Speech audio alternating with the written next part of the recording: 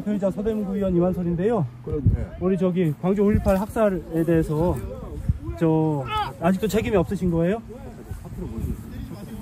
우리 광주 5.18 학살 책임에 대해서 한 말씀 해주시죠. 광주하고 내하고 무슨 상관이 있어? 아 기억이 없었어요. 상관이 없으세요? 기억이 없었어요. 기록이 없는데 어떻게 골프를 치고 계세요? 예? 아, 잡지 마세요. 만지지 마세요. 만지지 마세요. 광주 5.18 학살에 대해서 한 말씀 해주시죠. 광주 학사 대해서 모른다 난. 왜 모르세요? 직접 책임 있으시잖아요. 내가 진짜 책임인다. 발포 명령 내리셨잖아요. 내가 발포명령. 발포 명령 안 내리셨어요? 내가 발포명령. 아 누구세요?